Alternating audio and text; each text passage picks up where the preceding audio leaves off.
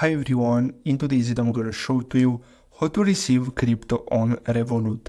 So the first step is to simply open the app and then you'll have to simply go to crypto. So click on crypto and then what you'll have to do is simply tap on receive and then what you'll have to do next is simply choose your crypto. So as you can see, there are a few options. So there are uh, not all the cryptos in uh, circulation, but you have the main ones and the biggest ones. So you can choose any of these and then basically you're gonna see your address. So as you can see, you have here the QR code or you can simply tap on this code on this blue button to copy your address and send it to uh, whoever you want to send uh, your money. And as you can see, if you want, you can change the network.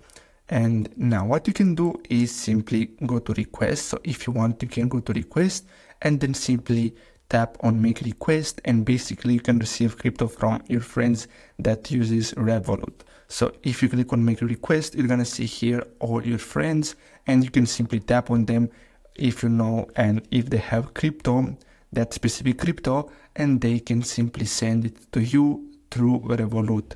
So I hope you found this video helpful. Thanks for watching.